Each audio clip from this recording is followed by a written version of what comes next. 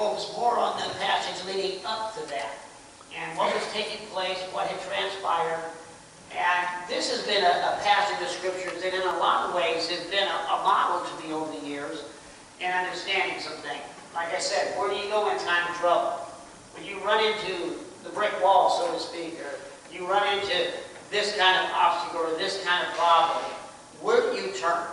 And I'll share a little bit about that here this morning, about where we turn. Because it's very significant where we turn in life. And uh, as one of the things I'll share a little bit, probably a little bit later, as a pastor, one of the things you learn about people is where they turn in times of trouble and how they act in times of trouble determines a lot about where they are with the Lord and their walk with God. Um, it's easy to, to live a certain way without pressure. But pressure changes everybody. You know, I, I've been part of sports and followed sports now a lot all my life. And one of the sayings I always had about athletes is everybody changes under pressure. Nobody's ever the same. You either get better or you get worse under pressure. But nobody stays the same. And the people that we consider in history to be great athletes usually are not necessarily great athletes because they do something so much better than everybody else all the time, but because they do it better under pressure. There are certain athletes who get better, the more pressure there is, the better they perform.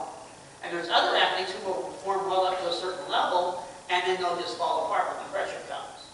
And you see that a lot in life with people.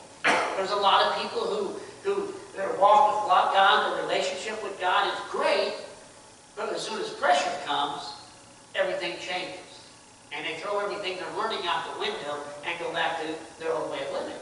Or vice versa. Some people, when the pressure comes, they immediately begin to, to draw closer to God.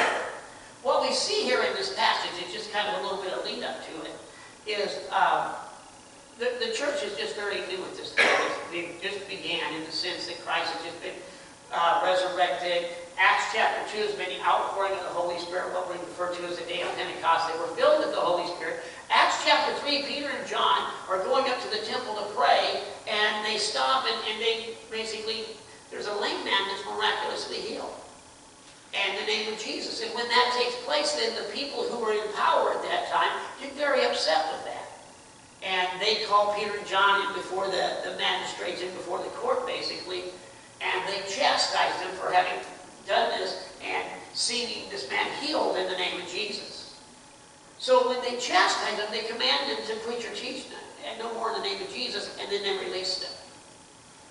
And so immediately the church is just new, it's just began, and one of the first things they do, they see this great miracle, and I'm sure they were jubilant and, and just full with joy, but immediately opposition waits them because of it. Immediately they run into trouble. Immediately the church is tested. It's just like as a, as a believer, a lot of times people come to Christ and immediately they face some obstacles. Immediately they face some tests. So right now we see the church for the first time in many ways under a great deal of pressure. And how do they respond? How do they handle pressure, so to speak? Let's go back to verse uh, 23, and that's where I'm going to pick up. And being let go, they went to their own company and reported all that the chief priests and elders had said unto them. So being let go, they went to their own company. The first thing they did, they, they went to their own company. And I, and I really significant because when people get into trouble, they go to their own company. And I'm going to explain that a little bit more and expound upon that a little bit more. But they go to their people. You see, so that'll tell you a lot who your people are. That'll tell you a lot who your company is. Some people, they get in trouble and, and they immediately run back to trouble. Some people get into trouble, they immediately run to God's people. They chose to go to God's people. They chose to go what the Bible refers to as their own company. You know, and, I'm going to talk a little bit right now about that word company. And you might say, well, Pastor, why would you take just one word and focus on it so much? But the Bible tells us that all Scripture is inspired by God. The Bible tells us that, that, that, that, you know, just like with Moses, when Moses was on the mountaintop in the glory cloud, God said, you know, sit down and write these words. So God's specific about words. You know, it says in 1 Corinthians that, that, that God spoke this with words. So if, if God specifically picks out a word by the Holy Spirit, specifically records a word, then we ought to specifically study a word. Because there's a lot to learn just from one word. There's a lot to learn just from that one basic word, company. Company. And, and I found it kind of interesting, and you know me, I get kind of fascinated with words sometimes. But the Greek language is so much more precise than the English language. And I forget now exactly how many English words are actually translated. I mean, I mean, how many Greek words are translated company in the Bible? I think it's 13 or 14 different Greek words.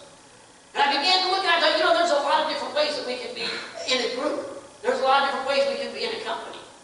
I mean, you could go out here and, and you could have a traffic jam, and you could just have a random group of people, and that's a group though, isn't it? There's a group of people there at, the, at a traffic jam. They have no connection whatsoever, nothing in common, but there's a group of people. I mean, you could go out here and we could have the parking lot full of people and we could all stand in the parking lot and there could be a group of people. Say, well, there's a group over there in the parking lot.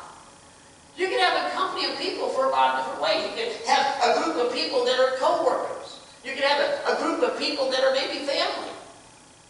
But it says here that Peter and John went to their company. Well, why was that their company? Why was that their group? Why was that their people? Why were they there, the ones? And when you look at that word, the Greek word that is company there, it, it's one own people. Just like you have your own opinion. You have your own stuff. You have your own home. You have your own family. You know, you have your own shoes, whatever. You have things that belong to you and are specifically yours. And this is that word company there. This is specifically their people. This is specifically their group. Well, what do they have in common? You know, are they, they all make the same amount of money? Are they all the same education level? Are they all the, the, the, the same height, the, you know, that have the same DNA? There's all kinds of things there, but that's not what they had in common. They were their own company because they were the, the church, the body of Christ, the people that God had put together. You see, they joined that company by placing faith in Jesus Christ. And they placed their faith in the death and the burial and the resurrection of Jesus Christ. They're born again. So that's the first step in becoming part of that company. Now they're part of the body of Christ. But what does God do then? God then puts pieces together. And I've kind of been fascinated with this lately, how God puts pieces together. And I was sharing with some other pastors yesterday morning at a breakfast I was at with, with several other pastors, and, and I was talking to them about that. I thought, you know, how the world sees things is the exact opposite of how God sees things. The world sees a company, a group of people put together because of common things. You know, you might have a group of people and they hang out together because they all make more money, you know, more than $100,000 a year, so they have that in common. You might have other people who, who have $20,000 or less income, so they have that in common, so they, they're a group of people. You might have another group of people who, who like golf or something, or you know, they like basketball, or they like to play pool, or what have you. They, they, there's a common ground there, but God doesn't put us together on the basis of our common ground. That's not how the kingdom of God works. God puts the pieces together. He had put these pieces together, and Peter and John went to their own company. And I'll guarantee you, when they walked in there, it was probably a diverse group. It was probably some, some wealthy people, and, and, probably some poor people, and, and, probably some educated people, and probably some uneducated people, and, and so on and so forth. It was probably a very diverse group. But it was their own company, not because they had the same DNA. It was their own company, not because they had this common interest. It was their own company, not because they, they, they maybe made the same amount of money. It was their own company because they were born again and put together as a body of Christ.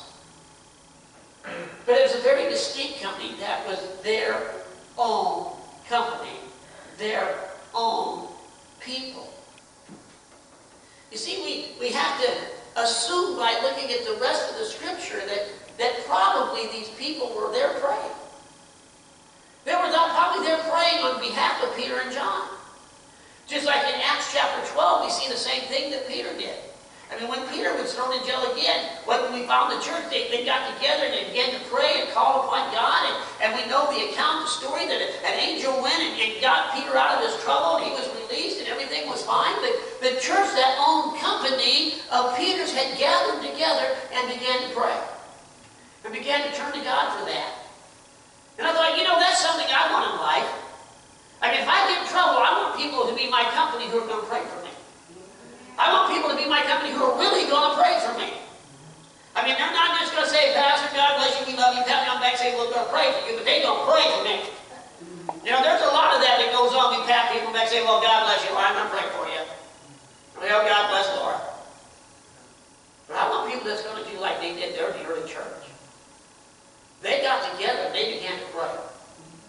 And they prayed until Peter was released. I believe that's what's going on here. They, their company has gathered together and say, hey, Peter, John's in trouble. We need to get together and we need to bind together and we need to pray and we need to call upon the name of the Lord because our brothers are in Christ are in trouble. That was their own company. That was their own company. They began to get together and they began to pray. But notice there again what they did. It says they, they came and they reported all that the chief priests and elders had said unto them. Now, this is one of those things that if you don't stop and consider biblically what's taking place here, makes no sense at all. I mean, can you imagine praying for somebody who's been lame all of their life? They're healed, they're rejoicing, praise God, glory to God, running around, perfectly healed, great miracle. And religious people get mad at you and say, don't ever do that again. What is wrong with them? Can you imagine telling somebody that goes in, can you imagine being in a hospital and there, there's somebody there, they're on their deathbed, you pray for them, they're miraculously healed, and they say, don't you ever pray like that again. What's wrong with those people? And telling them that you will never ever preach or teach in the name of Jesus again, because when you did that, that lame man was healed. We're not going to put up with that. What is wrong with those people? That doesn't make sense, does it? I mean, it's hard to believe that the hardest, coldest human being on this planet would be against somebody being healed. Why would anybody be against a sick person being healed? That just absolutely doesn't make sense. But you see, when we examine the Bible, we study the Bible, we learn some stuff, don't we? You know, there, there's a saying. Back years ago when I used to, to be a faith, hope, and love, and we dealt, dealt sometimes with bizarre behaviors. And I used to have a saying I used to always tell the staff there, I says, you know what? There's always a reason for behavior. And you know what there is? If you see somebody's behavior and it doesn't make sense to you, that means you don't know something. There's something you don't understand about that life because there's a reason for behavior. And, and we use a lot because one of the things we had to monitor the residents and stuff was drug use and alcohol use. So if all of a sudden they're acting different, there's a reason they're acting different. And when somebody does something this bizarre, there's a reason they're doing that. Maybe at that time, and if you don't dig into the Word of God a little bit and, and examine a little bit scripturally, you think that doesn't make sense, but there's a reason they did that. You see, the Bible tells us in Ephesians chapter 6, verse 12, that we wrestle not against flesh and blood, but against principalities and powers and spiritual wickedness in high places. You see, we look at the world today and we think, you know what? That don't make sense. Somebody in Las Vegas getting in a room with a bunch of guns and killing a bunch of people doesn't make sense. They say, why would what would ever do that? I'll tell you what will do that. A demon from hell will do that. There's a spirit behind, spiritual forces behind this stuff. There's something taking place here. And why would somebody be against somebody being healed? They weren't against that man being healed. If you'll notice, it didn't say, don't you ever go pray, pray for anybody to be healed again. Very specifically said, they were against them preaching or teaching in the name of Jesus. So they didn't say don't heal anybody. Just don't do it in the name of Jesus. See the Bible, let me read scripture to you. Go to 1 John chapter 4. Let's chew on this a minute, figure this out. 1 John chapter 4. Let me read that to you. 1 John chapter 4, verse 3.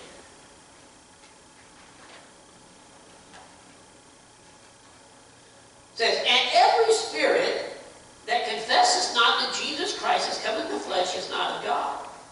And this is that spirit of Antichrist whereof you have heard that it should come, and even now already is in, in the world. So there's a spirit fighting against Jesus in this world very actively. Now, if you pay attention to different things, there's all kinds of things in our society that shows us that taking place. Not just the, the, the, the, the bloody slaughters and all of that stuff. But, you know, the, the people getting mad because the Ten Commandments hang on the courthouse wall. Why does that upset somebody? I mean, even if you don't believe that, why does that bother you that it's there? You know, if, if I walk past somebody and they got some kind of little Buddhist thing out there, I, I'm not going to work and get worked up about it. You know, they got some other thing there, it doesn't bother them. But when it's something that's connected with Jesus, people get upset with it. You know, why do they get mad because somebody puts a little manger scene in government property? Little bitty fake baby. Why does that upset somebody? You can put a fake baby of anybody else out there. Take a look at that little baby. It wasn't really you when he was a baby. Nobody's going to get mad about that, are they? Why do they get mad when it has to do with Jesus? Why do they get mad when you put a cross up in it somewhere? What is that spirit that's making everybody direct toward Jesus? Well, the goofiest ones, the, the most obvious thing in our society that I see with this, and I, I've heard this a million times, separation of church and state. Okay, let me explain something to you. Let's use this as a point of illustration. First of all, there's nothing in the Constitution that says anything about separation of church and state. If you don't believe me on that, go read the Constitution. I challenge you to come back and show me that Constitution. Second of all, if that statement wasn't the Constitution, it would be amazingly unconstitutional. Because that is the most biased statement I've ever heard in my life. Think about it. Why does it say separation of synagogue and state? Why does it say separation of mosque and state? Why does it say separation of temple and state? Church is a very specific word. When people saying separation of church and state, they're, they're specifically narrowing it down to one group of people, and as Christians, we're the only ones that have a church. So that would be an amazingly unconstitutional, biased statement that would have to be thrown out in court the first time it was ever challenged. You can't just single out one group and say, well, you can have separation of church and state. If that's the case, well, how about separation of temple? How about separation of mosque? How about separation of synagogue? You can't narrow out one little bitty group of people and say, no. So why do we hear that all the time? First of all, it's not even in the Constitution. Second of all, it's the most biased statement you'll ever hear. Maybe it's that spirit of Antichrist. Yeah. I remember I was having a conversation with a gentleman one time. I, I didn't it. Uh, and he was very involved in 12-step meetings. And um, he came to me one time and he said, you know, I got a question for you, something I don't understand. Um, what's that? He says, you know, we go to 12-step meetings, we do our talking. He says, people talk about God and that's okay. People talk about their higher power and that's okay. Says they can talk about God all they want. They can talk about higher power all they want. Says, but this moment I say I'm talking talk about Jesus, people get mad. Well, because the spirit of Antichrist really don't care about you if you have an ashtray as your higher power. He really doesn't care how much you worship Buddha. He doesn't care how many Hindu gods you worship. He only cares about the name of Jesus. And there is a spirit in this world attacking Christianity. It's referred to as the spirit of Antichrist. And we look at a situation like that with Peter and John, and they just came to a tremendous miracle, and they're rejoicing and praising God. We think that don't make sense. Why would they be against that? But you notice what they said. Don't preach or teach ever again in the name of Jesus. There was a wrong spirit there, immediately attacking the church. Just like there's wrong spirits out there attacking Christianity today. Amen? Acts chapter 4. So that. Shifting gears. Now we understand why they acted that way. There's always a reason for behavior. But notice here in verse 24. And when they heard that, they lifted up their voice to God with one accord and said, Lord, thou art God which has made heaven and earth and the sea and all that in them is. Raised their voice to God. Now again, that may be just one of those simple phrases we can just jump right over. But it says a whole lot about it. And like I said, as a pastor, one of the things that, that you do a lot is you watch people. I watch you guys. Not in a bad way, but I observe you guys. And, and the reason I observe you is because, you know, I was telling Rachel the other day, I said, you know, I can probably know better your church attendance than you do. Because that's just stuff you do as a pastor. Why am I observing people? Because I need an understanding of where you are in your relationship with God and how to help you. Just like a doctor observes you. Why is he observing you? Because to see there's symptoms or signs and symptoms of something. And as a pastor, you learn there's signs and symptoms of things. And so that tells you, helps you understand how to pray for somebody, helps you understand how to teach to them, how to minister to them, in what capacity. And one of the areas that I have learned to watch very closely that tells you a whole lot is, like I shared earlier, is how do you do under pressure? Somebody came to me a while back to put it in flesh and bones, bones illustration, and I was actually had been doing some marriage counseling. This is quite a while ago, this a few years ago, but um, and, and asked me, said, Pastor, you think I should marry this person? Well, that's a pretty blunt question, and you know, put a lot of weight on my shoulders because if it don't work out, see, I you should tell me not to marry him. Uh, but here was my answer. I said to this person, I said, you know, as a pastor, one of the things I've learned, a lot of people come into church, a lot of people just, you know, say they love God, and, you know, they want to serve God, and, and then I watch people go through some real tests in life. Life's full of battles, isn't it? And when I watch people go through tests, and I watch people go through battles, and I watch people be challenged, but they just keep walking with the Lord, and that tells me a lot about their relationship. But a lot of times people, when they face those battles, they face those tests, they face those trials, they don't keep walking Lord, they immediately go back to their old lifestyle.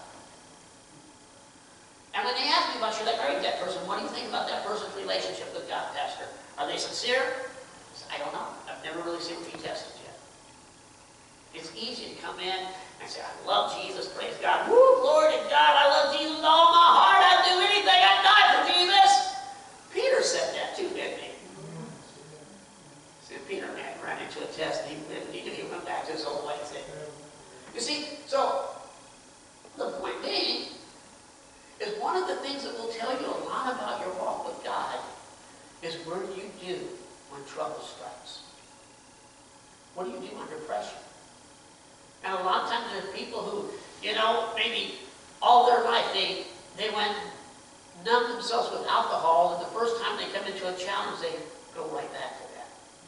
Maybe they've turned to drugs all their life, and they go right back to that. Maybe they've gorged themselves with chocolate, and they run right back to that. But you see, one of the first things we need to do, chocolate, I think people go on as I say that. Everybody's asleep, and everybody says, yeah, chocolate, you said chocolate!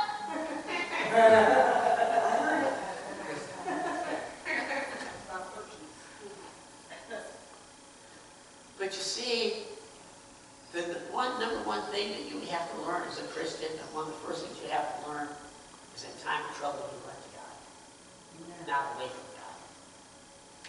And that's one that seems very basic and that seems very simple. That's one of the hardest things to teach people. Mm-hmm. Because when pressure comes, they want to push pastor away. They want to push Christians away. They want to run back to the old stuff because that's always been their habit of how they handle problems. but here they did something. They raised their voice and they tried to God. And when trouble comes, the number one thing you to do is to cry out to God and to turn to God. That's the number one test you will face as a believer, is who do you rely on when the pressure's on.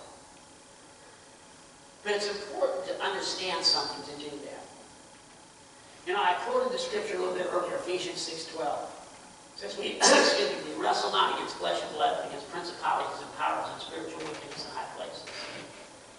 See, we've got to understand the source of the problem, the source of the trouble. The Bible teaches us, and you hear me talk about this a lot in what was called the parable of the sower, where Jesus talks about the sower goes forth and sows the seed, and then all these problems come, the thorns come, and the, the harsh sun comes, and all these different problems come, the birds come and eat the seed, and then he breaks it down a little bit later and explains to us what all is taking place there. And he tells us that what happens as soon as the word of God is sown in our heart, the enemy comes. And when the enemy comes, he has different ways he attacks that word. Afflictions, persecutions, cares of this world, lust for other things, deceitfulness of riches. See, he's got all this stuff he throws at us to try to stop us from moving forward in the things of God, to try to stop us from moving forward in the Word of God. So we've got to understand the source of the problem. Because you see, something suddenly, a light bulb will go off. If when trouble comes into your life, you automatically, wait a second, this is a spiritual problem. You see, they could have just easily, when the, the, the powers that be came against them, said, well, we're going to take care of this, we're going to go out, we're going to get all the Christians together, and next election, second year's talking, we're going to hold you out of office. They went to the synagogue and says, these people are against us. We appeal to your powers. But they realize something. It's a spiritual problem here. This is a spiritual battle taking place. And if you realize in your life when trouble comes and the battles are there, that first and foremost you're fighting a spiritual battle above all else, then you're going to turn to a spiritual source for the answer. I mean, that person who runs back to the alcohol obviously doesn't know he's dealing with the devil. That person who runs back to drugs obviously doesn't know he's dealing with the devil. That person who runs to chocolate doesn't know they're dealing with the devil. I know you guys like chocolate, the devil don't fear it.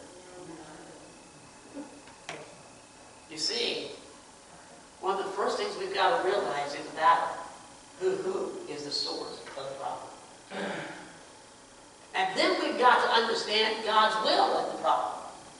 Do you know the Bible tells us in Psalm 34, verse 19, that many are the afflictions of the righteous, but the Lord delivers us from them all.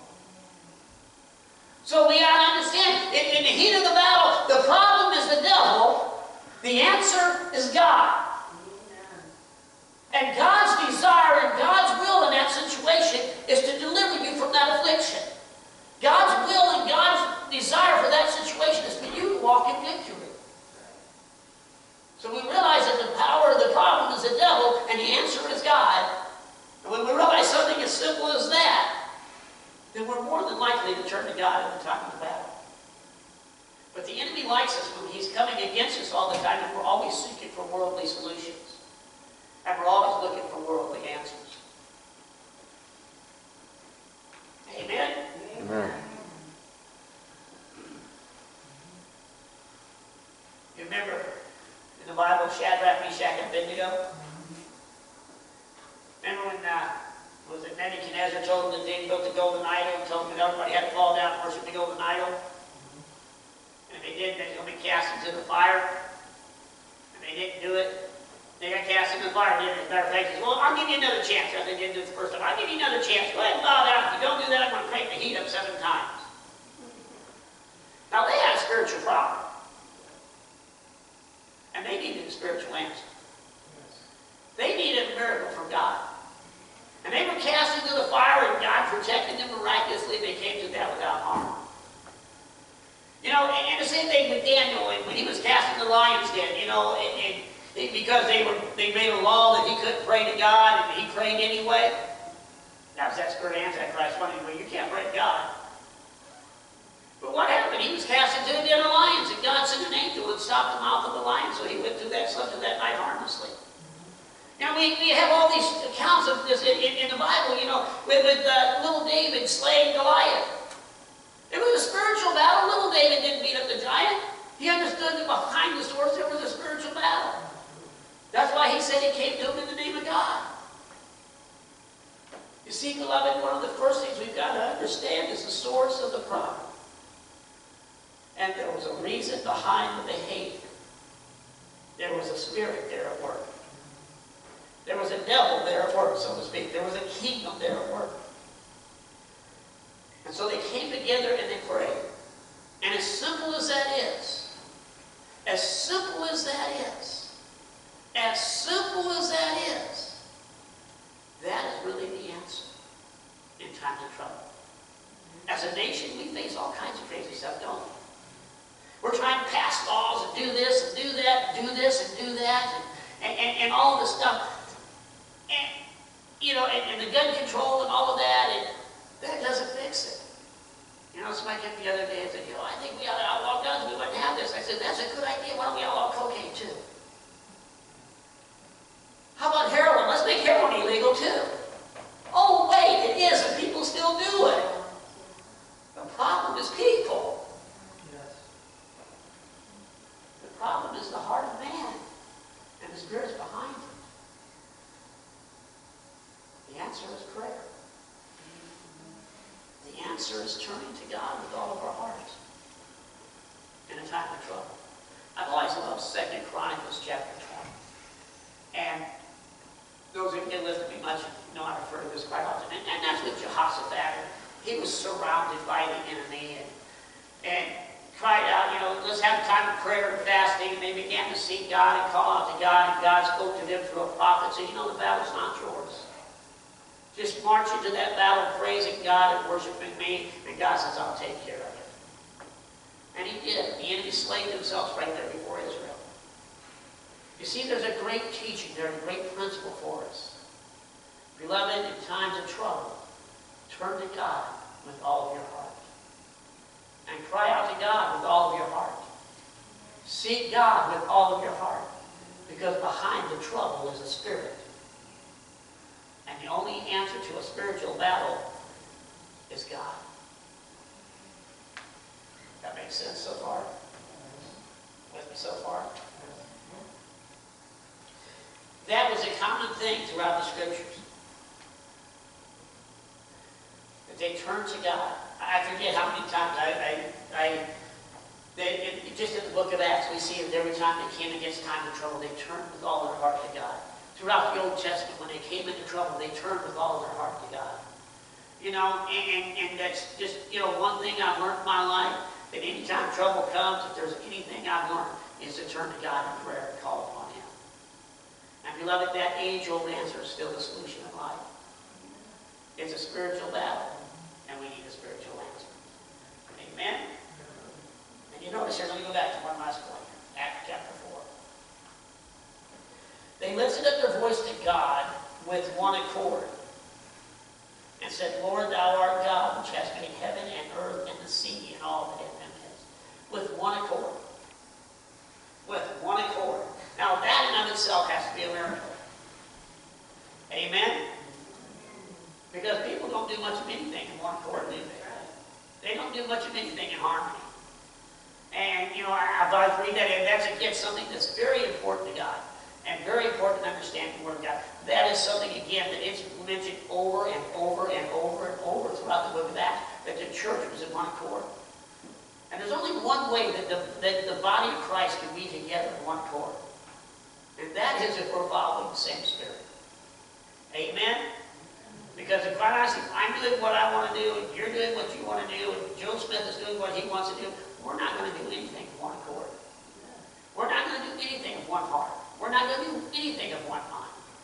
But yet I've seen the Spirit of God come over people. And I've seen people in praise and worship just begin to worship God in one accord. I've seen people gather together to pray and the Spirit of God move and come over people and then begin to pray and call upon God in one accord. You see, beloved, that's something we turn to God and we look to God and we surrender ourselves to His Spirit, submit ourselves to His Spirit, and allow Him to flow and move in our lives, and then we begin to function in one accord, in one heart, in one mind. You know, the, the classic examples like that, you can take a thousand guitars and tune them to one piano, and all those thousand guitars are perfectly tuned together. Every one of them. So if we're tuned to the same Spirit, then we should be functioning in one accord. If we're tuned to the same word, then we should be functioning in one heart, one mind, shouldn't we? But then again, if you take the guitar and you tune each guitar to the next guitar, none of them will be in tune. I mean, if I take a guitar and it's in perfect tune, and then somebody else takes a guitar and tunes it to my guitar, somebody else takes a guitar and tunes it to their guitar, somebody else takes a guitar and tunes it to their guitar, somebody else takes a guitar and tunes it to their guitar, by the time they're done, all the guitars are out of whack. Because there's a slight variation in each one. And if we tune the guitar to the same piano, then they'll all be in tune. What's the point? We can't be in one accord because we're in tune with each other. We can be in one accord when we're all in tune with God. When we're tuned to the same source, then we're in one heart, one mind, and one accord. So a group of people came together, and even though it was probably a large group, they were all focused on God. They were all calling upon God. They were all listening to God. As a result of being tuned into God, they were functioning as one unit. They weren't looking to each other. Amen? So the point of today's teaching, realizing your trouble, there's a spiritual battle. And turn to God with all of your heart. And don't look to the things of this world as your answer or your solution. Amen? Let's pray. Father, Lord, I just thank you and I praise you this morning, Father, and I worship your holy name. Truly, you are the King of kings and the Lord of lords and the Most High God, and I exalt you this morning. Father, I pray for each and every one of us this morning, Father God, that Lord, you will take your word, you will speak to our hearts, Father. You will take your word, Father God, today and speak to our lives, Father. And Lord God, I pray for that understanding today. I pray for that revelation today, Father God, in each and every one of our lives, that truly the battles of this life are spiritual battles. And we may not see that on the surface all the time, Lord, but it is we wrestle not against flesh and blood, but against principalities and powers and spiritual wickedness in high places. And Father God, if we have that understanding, Lord God, we understand who you are, Father. And Lord God, the heart you have of love and mercy and grace. And Father God, the desire of your heart, Father God, is to deliver us from all of those afflictions, Father God. And Lord God, we thank you and we praise you for that, Father. And Lord, we would have that understanding today, Father God, to turn to you, Father, with all of our heart. And even now, Father God, in this season that we live, Father God, this time we live of turmoil and chaos, Father God, in the world, Father God, that we would turn our hearts to you, Father God, and realize you're the only answer, Father God. You're the only solution, Father. And Lord, I thank you and I praise you for that today. In Jesus' name I pray. Amen. Want to come help me? Come on. Come on, Caleb, you're the man. Uh, tonight, Emilio will be here to do worship. Next Sunday, the praise